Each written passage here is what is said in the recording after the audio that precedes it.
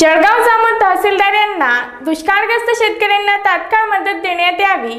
या मागणीसाठी शिवसेना युवा सेनेच्या वतीने देण्यात आले निवेदन. यावर्षी निसर्गाच्या लहरीपणामुळे संपूर्ण बुलढाणा जिल्ह्यात दुष्काळाची सावट झालेली आहे. त्यामध्ये जळगाव जामोद तालुका भीषण दुष्काळग्रस्त आहे. तरी शासनाने जाहीर केलेली मदत शेतकऱ्यांच्या खात्यामध्ये तात्काळ जमा करण्यात यावी. तसेच चारा छावण्या उपलब्ध करण्यात याव्यात. तसेच अल्पभूधारक शेतकऱ्यांना वार्षिक सहा हजार रुपये मदत करण्याचा जो निर्णय शासनाने तो निर्णय बहुभूधारक शेतकऱ्यांना लागू करण्यात यावा याकरता निवेदन देण्यात आले.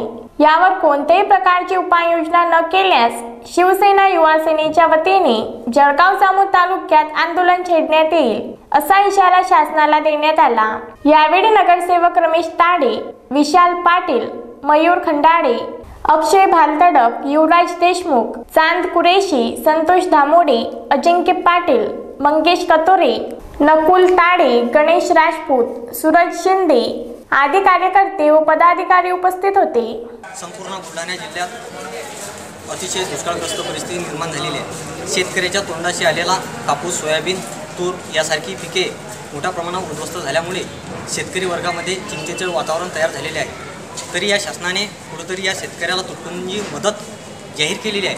ती ती मदत शेतकऱ्यांना तात्काळ मिळण्यासंदर्भात तसेच शेतकऱ्याच्या खांद्याला खांदा लावून जे जनावरं शेतकऱ्यासोबत राबराब राबतात त्यांना चारा सामने उपलब्ध करण्यासंदर्भात या ठिकाणी आपण तहसीलदारांना निवेदन दिलेलं आहे. जर का शासनाने या यावर कुठच्याच प्रकारे जर निर्णय घेतला गेला नाही तर शिवसेनेच्या वतीनं या ठिकाणी आंदोलन छेडण्यात येईल अशी या